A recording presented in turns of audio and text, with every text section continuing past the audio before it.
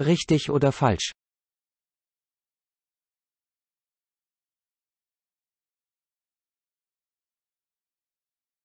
Was zeigt dieses Zeichen an? Es kündigt einen Schutzweg an. Es kündigt eine Radfahrerüberfahrt an. Es kündigt eine Fußgängerzone an. Es zeigt eine Begegnungszone an.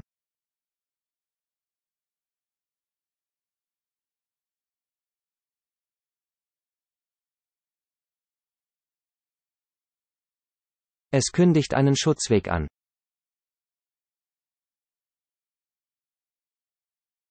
Wie verhalten Sie sich bei diesem Verkehrszeichen? Ich rechne mit einem Schutzweg. Ich achte besonders darauf, ob Fußgänger den Schutzweg überqueren wollen. Ich beobachte im Bereich des Schutzweges die Gehsteige besonders genau. Ich darf ab sofort nicht mehr halten oder parken.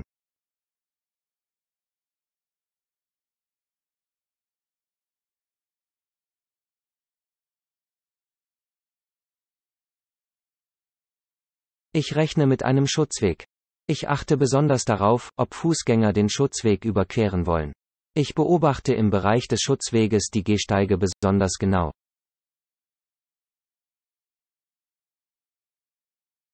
Was wird Ihnen hier angezeigt? Ein Umkehrgebot. Vorrang geben. Eine Kreuzung mit Kreisverkehr. Eine Kreuzung mit Straße ohne Vorrang.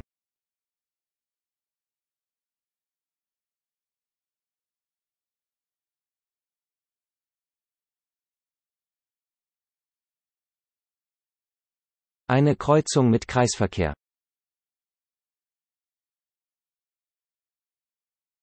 Sagt dieses Verkehrszeichen etwas über den Vorrang aus? Ja, ich habe Vorrang gegenüber dem Kreisverkehr. Nein. Nur, wenn der Kreisverkehr geregelt ist. Wartepflicht gegenüber dem Kreisverkehr.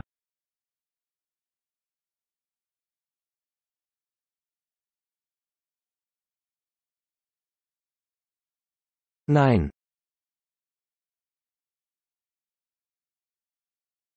Was bedeutet dieses Verkehrszeichen für Sie?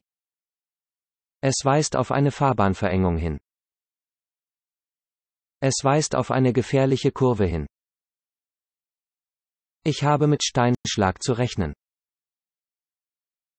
Ich muss mit einer unebenen Fahrbahn rechnen.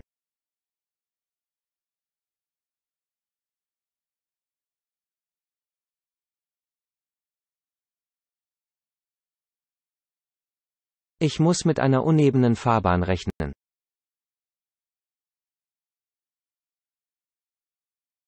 Wie verhalten Sie sich, wenn Sie jetzt mit einer Geschwindigkeit von 90 km pro Stunde unterwegs sind? Ich fahre mit 90 km pro Stunde weiter, wenn die Fahrbahn trocken ist. Ich passe meine Fahrgeschwindigkeit der Situation an. Ich behalte meine Geschwindigkeit bei, weil nur kleine Unebenheiten folgen. Ich werde meine Geschwindigkeit erst dann reduzieren, wenn ich zu einer Geschwindigkeitsbeschränkung komme.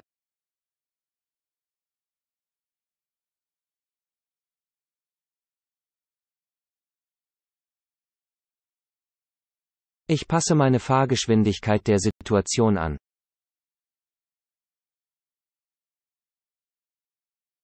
Welche Gefahrenstelle wird angezeigt? Eine Kreuzung.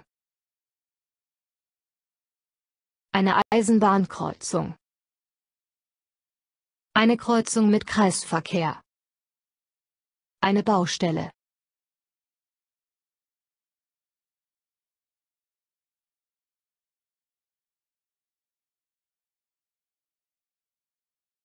Eine Kreuzung. Was sagt dieses Verkehrszeichen über den Vorrang auf der angezeigten Kreuzung aus? Nichts. Ich habe auf jeden Fall Rechtsvorrang. Ich habe auf jeden Fall Vorrang. Ich habe auf jeden Fall Wartepflicht.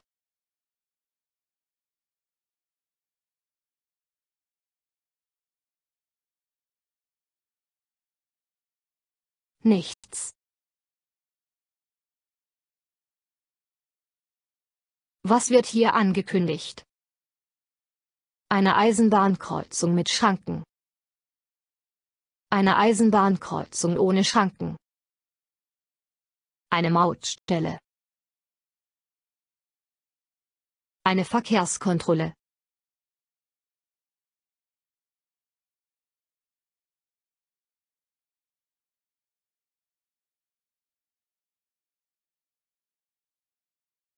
Eine Eisenbahnkreuzung mit Schranken.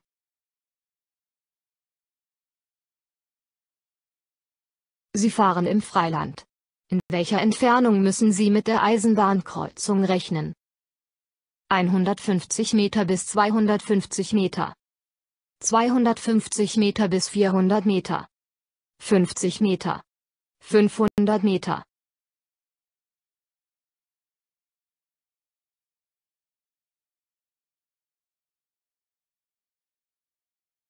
150 Meter bis 250 Meter.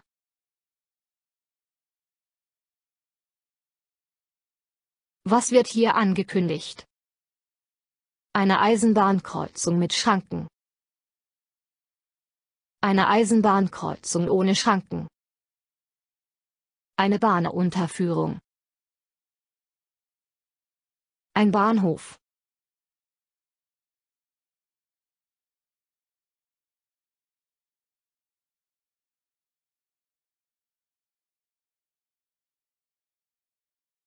Eine Eisenbahnkreuzung mit Schranken.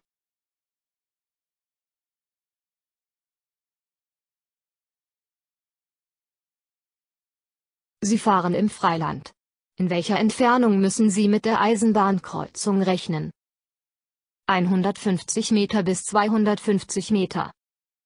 250 Meter bis 400 Meter. 50 Meter. 500 Meter.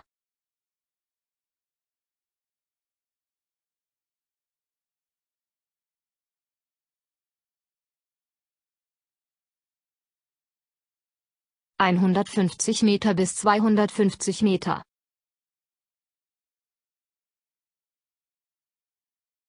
Was zeigt dieses Verkehrszeichen an? Dass ich nach links einbiegen muss. Dass eine gefährliche Linkskurve kommt. Dass eine Fahrbahnverengung kommt. Es folgen mehrere gefährliche Kurven, die links beginnen.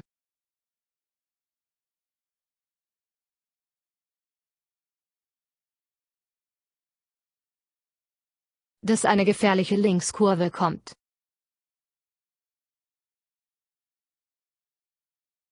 Wie verhalten Sie sich, wenn Sie dieses Verkehrszeichen sehen? Ich gebe vor der Kurve optische Warnzeichen. Ich werde vor der Kurve hupen, um den Gegenverkehr zu warnen. Ich halte an und gebe dem Gegenverkehr den Vorrang. Ich passe die Geschwindigkeit der Kurve an.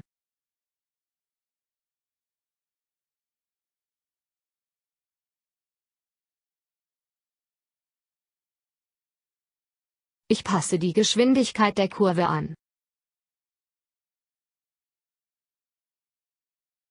Was zeigt dieses Verkehrszeichen an? Ich muss nach rechts einbiegen. Es folgt eine gefährliche Rechtskurve. Es folgt eine Fahrbahnverengung.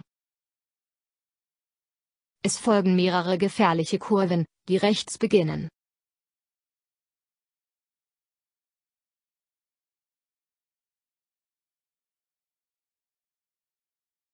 Es folgt eine gefährliche Rechtskurve.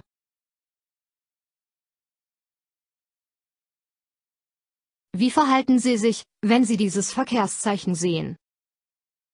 Ich schalte den rechten Blinker ein. Ich halte an und gebe dem Gegenverkehr den Vorrang. Ich werde vor der Kurve hupen, um den Gegenverkehr zu warnen. Ich passe die Geschwindigkeit der Kurve an.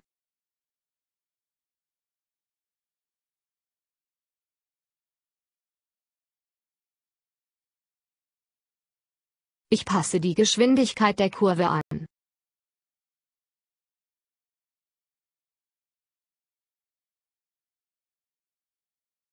Was zeigt dieses Verkehrszeichen an? Es folgt eine kurvenreiche Strecke. Es folgt eine links beginnende Doppelkurve. Ich muss links einbiegen. Es folgt eine rechts beginnende Doppelkurve.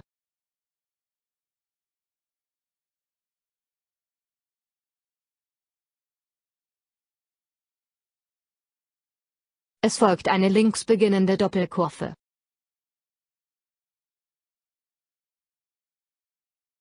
Warum müssen Sie bei diesem Verkehrszeichen Ihre Geschwindigkeit dem Verlauf der Kurven anpassen?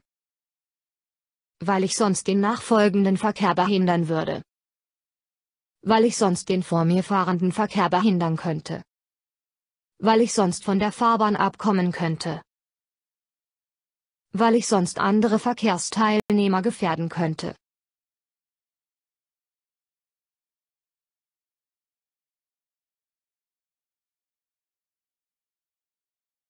weil ich sonst von der Fahrbahn abkommen könnte.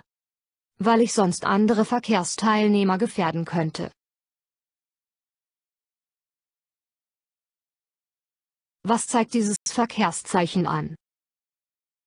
Es folgt eine kurvenreiche Strecke. Es folgt eine rechts beginnende Doppelkurve.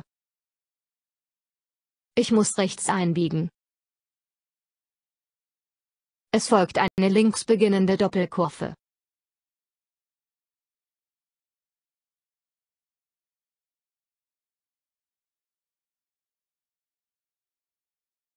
Es folgt eine rechts beginnende Doppelkurve.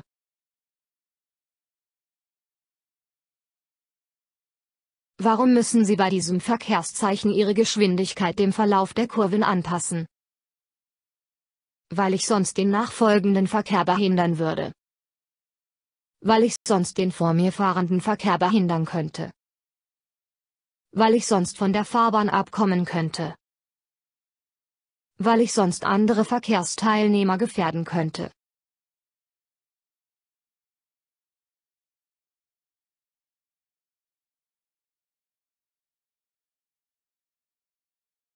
Weil ich sonst von der Fahrbahn abkommen könnte. Weil ich sonst andere Verkehrsteilnehmer gefährden könnte.